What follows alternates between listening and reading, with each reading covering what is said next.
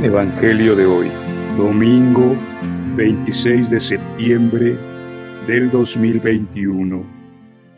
Lectura del Santo Evangelio según San Marcos, capítulo 9, versículos 38, 43, 45, 47 y 48.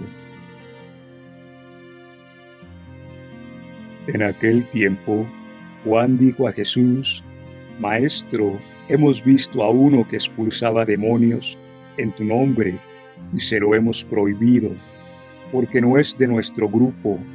Jesús replicó, No se lo prohibáis, porque nadie que haga un milagro en mi nombre puede luego hablar mal de mí, pues el que no está contra nosotros está a favor nuestro.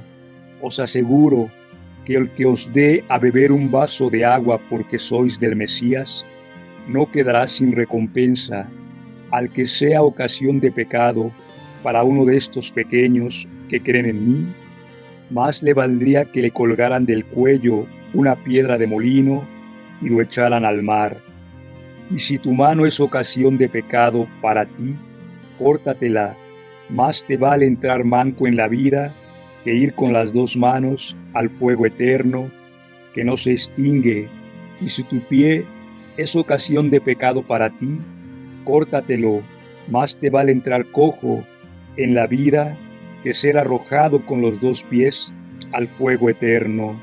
Y si tu ojo es ocasión de pecado para ti, sácatelo, más te vale entrar tuerto en el reino de Dios que ser arrojado con los dos ojos al fuego eterno, donde el gusano que roe no muere y el fuego no se extingue.